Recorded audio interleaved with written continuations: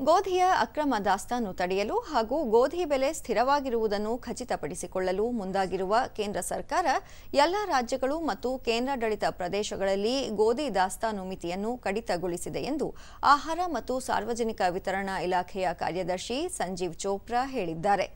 ದೆಹಲಿಯಲ್ಲಿ ನಿನ್ನೆ ಮಾಧ್ಯಮಗಳನ್ನು ಉದ್ದೇಶಿಸಿ ಅವರು, ವ್ಯಾಪಾರಿಗಳು ಮತ್ತು ಸಗಟು ವ್ಯಾಪಾರಿಗಳಿಗೆ ಗೋಧಿಯ ದಾಸ್ತಾನು ಮಿತಿ ಮೂರು ಸಾವಿರ ಮೆಟ್ರಿಕ್ ಟನ್ ಆಗಿರಲಿದ್ದು, ಚಿಲ್ಲರೆ ವ್ಯಾಪಾರಿಗಳಿಗೆ ಇದು ಹತ್ತು ಮೆಟ್ರಿಕ್ ಟನ್ ಆಗಿರುತ್ತದೆ. ಈ ದಾಸ್ತಾನು ಮಿತಿಗಳು ಎರಡು ಸಾವಿರದ ಇಪ್ಪತ್ತೈದರ ಮಾರ್ಚ್ ಮೂವತ್ತೊಂದರವರೆಗೆ ಜಾರಿಯಲ್ಲಿರುತ್ತವೆ ಎಂದರು. ದೇಶದಲ್ಲಿ ಗೋಧಿಯ ಕೊರತೆ ಇಲ್ಲ ಎಂದ ಅವರು, ಇದರ ಬೆಲೆಗಳು ಸ್ಥಿರವಾಗಿದ್ದು ಗ್ರಾಹಕರ ಹಿತಾಸಕ್ತಿಯಿಂದ ಬೆಲೆಯಲ್ಲಿ ಸ್ವಲ್ಪ ಸ್ಥಿರತೆಯನ್ನು ಕಾಯ್ದುಕೊಳ್ಳಲಾಗುವುದು ಎಂದು ಸ್ಪಷ್ಟಪಡಿಸಿದ್ದಾರೆ.